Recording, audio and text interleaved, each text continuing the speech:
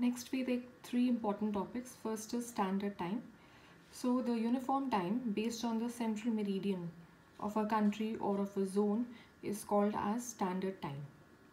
And uh, by convention standard time is always uh, considered in such a way that the standard meridian must always be divisible by seven and a half degrees. So this allows the time to be reckoned by a unit of half an hour and not smaller difference. The next topic is Greenwich Mean Time. So the local time of the Greenwich meridian, that is the 0 degrees longitude, is selected as the mean time. It is the time fixed for the whole world. So we can say that it is the international standard time.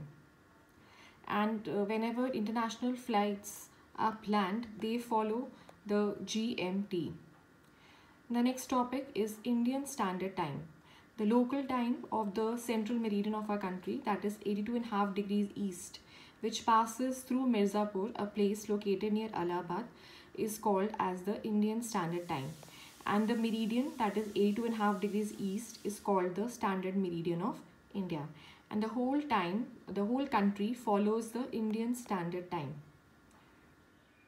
Now as you can see this is an orange and this is a model of the earth and you can see this green line in the middle. Let's say that this is the prime meridian. So exactly on the opposite side there is another line which is the international date line that is the 180 degrees east. And together they divide the earth into two equal parts. Now suppose if were to if i were to cut open this orange from the other side that is if i uh, put an incision here at the 180 degree longitude and I were to open it or better still suppose I take a paper and wind it all along this orange. What do I see? That when I cut it open I will have the 180 degree longitude on both the sides as you can see but this 180 degree line is one single line so what I can do is I can refer to the line on the left side of the zero as the 180 degree west and the line on the right side of the zero as 180 degree east. Now in order to find the time difference between these lines what can be done is First of all, I draw these lines. So this is the 0 degree east longitude, 0 degree longitude, the prime meridian. This is the 180 degree west longitude and this is the 180 degree east longitude.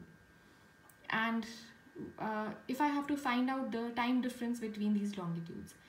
So if you see the difference in degrees between 0 and 180 is 180 degrees and if there's a difference of 1 degree there's a difference of 4 minutes in time and if there's a difference of 180 degrees the difference in time will be of 720 minutes that is 12 hours. So uh, the longitude which lies on the eastern side that will have a time 12 hours ahead of the time at 0 degrees. And the longitude which lies on the western side which is again 180 degrees will have a time 12 hours behind the time at 0 degrees. If you remember the formula towards east you gain time and towards west you lose time. So if we calculate the time at 180 degrees east longitude and 180 degrees west longitude, first we um, calculate the time at uh, 180 degrees west longitude. So the time is 12 hours behind the time at 0 degrees which is 6 a.m. the time at 0 degrees minus 12 hours which comes to 6 p.m. Monday. Okay, so the time is 6 p.m. Monday on the 13th of April that is one day before at 180 degrees west longitude and the time at 180 degrees east will be ahead so we add 12 hours and we get the time as 6 p.m. Tuesday 14th April so if we see the difference in time here the time is 6 p.m. Monday 13th April and here it is 6 p.m. Tuesday 14th April and we know that 180 degree east and 180 degree west they overlap and they are one line so on the same line how can there be a difference of 24 hours so to adjust this uh, gap of 24 hours it has been decided that as a person crosses the international date line the date will change to explain this further let me show you an illustration of the international date line now this is a very uh, clear illustration of the international date line. Now you can see uh, this is a part of Asia that is Russia and here lies Alaska which is a part of North America and this is the international date line. Now as you can see this international date line it goes zigzag it's not a straight line. Why is it not a straight line? Because if it's a straight line then a part of Russia will have a different rate the other uh, part of Russia will have a different date. And so is the case with these Aleutian Islands. A part of these islands will have a different date. And so in order to avoid this confusion, the international date line goes zigzag. It doesn't follow the 180 degree longitude.